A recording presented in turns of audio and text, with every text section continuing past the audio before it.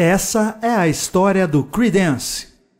Creedence Clearwater Revival foi uma banda norte-americana com estilo musical baseado no folk, blues e country, formada pelos irmãos John Fogerty, que tocava a guitarra e conduzia o vocal principal, e Tom Fogerty, que tocava a outra guitarra. Também faziam parte da banda Stu Cook no baixo e Doug Clifford na bateria.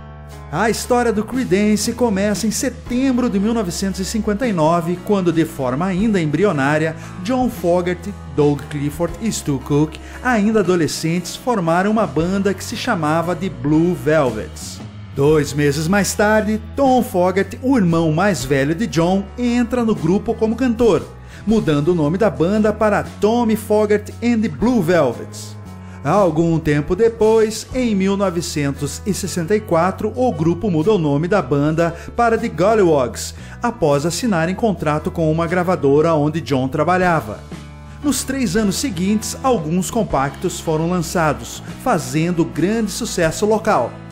Em 24 de dezembro de 1967, eles decidem então dar novo contorno profissional para a banda, começando pelo nome que faria história no mundo do rock buscaram inspiração para criar o novo nome da banda em um amigo de Tom chamado Creedence Newball. Além disso, o nome Creedence vem também da palavra creed, que numa tradução livre do inglês significa crença. Juntaram também à ideia o nome de uma cerveja e adicionaram o revival simbolizando a união do grupo. Estava criado então o nome da banda, Creedence Clearwater Revival. A banda vem então com um novo estilo de música, definido por John Fogerty, que, como cantor e compositor, passou a ser o centro da banda. Em julho de 1968 é lançado o primeiro disco da banda, que tinha o nome de Creedence Clearwater Revival, álbum esse que trouxe ao grupo uma grande repercussão.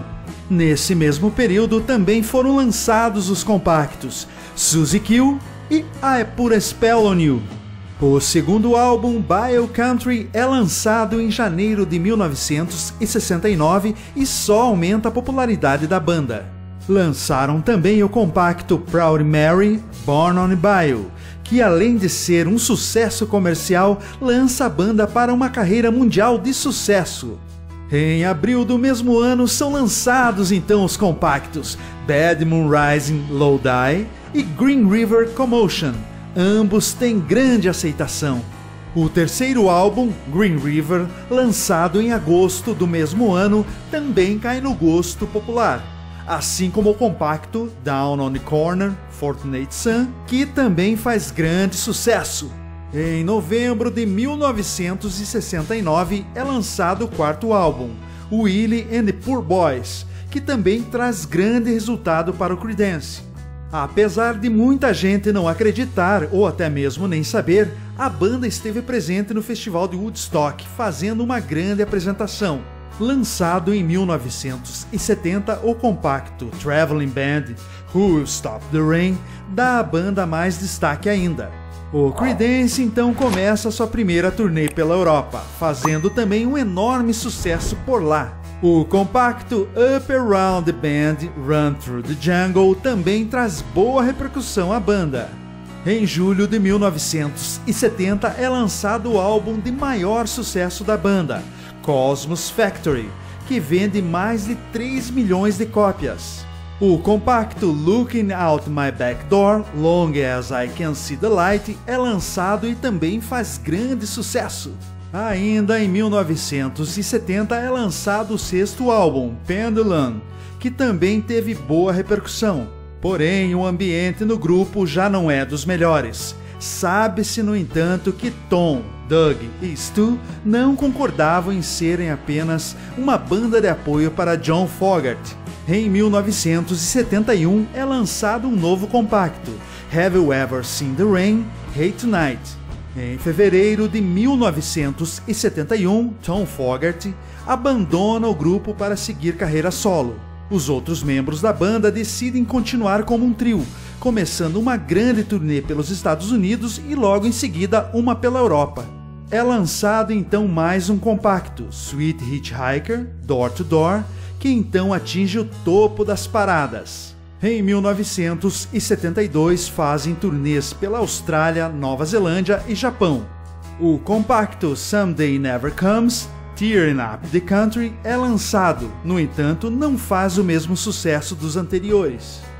Em abril de 1972 é lançado então o último álbum da banda, Mardi Gras. A obra mostra que o grupo está próximo do fim, com Stu Cook e Doug Clifford compondo a maioria das canções. Sendo que até então John Fogerty era quem compunha a maioria das músicas da banda. Em 16 de outubro é anunciado oficialmente o fim do Creedence Clearwater Revival. Todos os membros da banda participam das gravações do álbum solo de Tom Fogerty, lançado em 1974, Zephyr National. Em 6 de setembro de 1990, morre Tom, irmão de John Fogerty. No ano de 1993, o Creedence foi introduzido ao Rock and Roll Hall of Fame.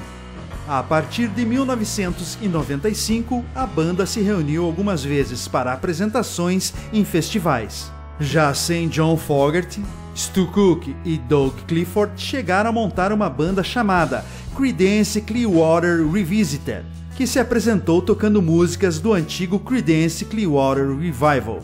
Em apenas cinco anos de atividade, o Creedence produziu verdadeiras obras-primas que entraram para sempre na história da música. Certamente, a banda é influência para novos artistas e suas músicas ainda serão tocadas e apreciadas por um longo tempo.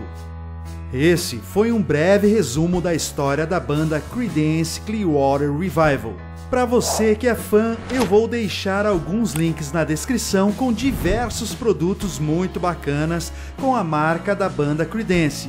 Clica lá, hein? Se você gostou desse vídeo, deixa o seu like. Se ainda não é inscrito, aproveita, se inscreve no canal e ative o sininho para receber uma notificação de quando uma nova história chegar por aqui.